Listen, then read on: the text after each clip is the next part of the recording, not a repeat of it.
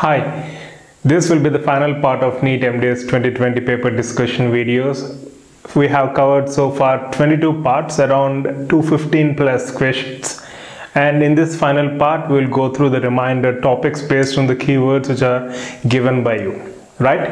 And before I proceed, uh, it's been a wonderful journey all these two to three weeks. It's been really challenging, but at the same time, as I said, it's been wonderful because it's challenging.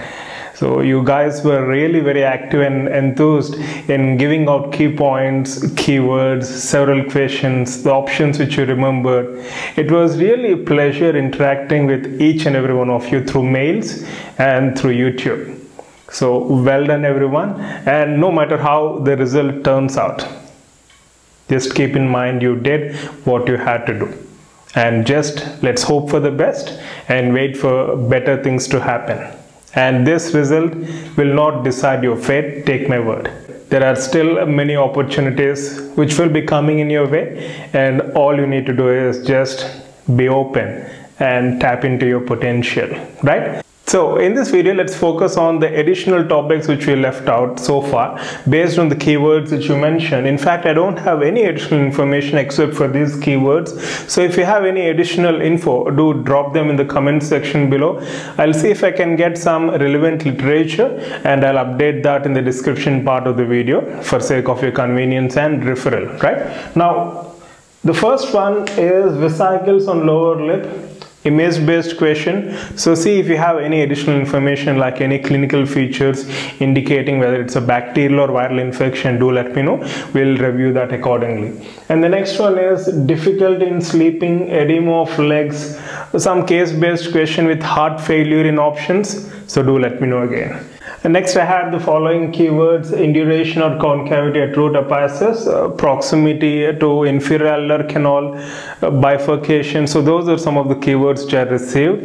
It seems like a case based question, extraction of molars and there was concavity at root apices. Do let me know again. I know uh, 240 questions we get an average of 45 seconds but since the questions were very lengthy I can understand the fact that you were exposed to only few seconds for each question but still as I said said you did a great job in recollecting as many keywords as many questions as possible. Now uh, next one drugs used in hemophilia. So let me know what the question is in specific. Coefficient of thermal expansion was there a question on the same? Okay next phase of treatment planning in uh, perio. Uh, see if you can get any question and then ex extra material which is used in soldering or welding. So those are some of the words which i received in mail. This i got through mail. And headgear chin cup case based question pertaining to orthodontic treatment.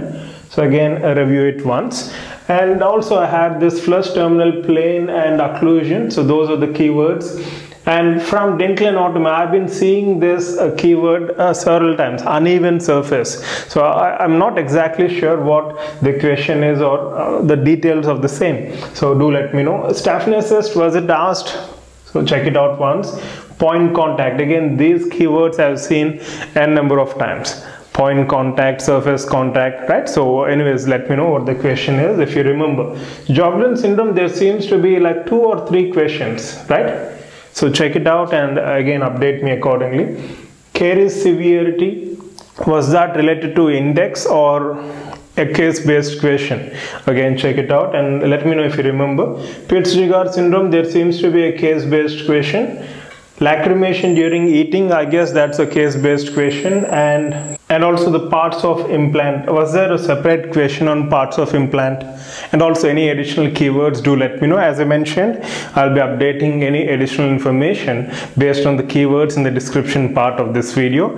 And this will be the final part in NEET MDS 2020 paper discussion series. And as i said uh, these last two to three weeks has been challenging yet amazing experience interacting with each and every one of you. And looking forward to hear from you all so wish you all the best. Love you all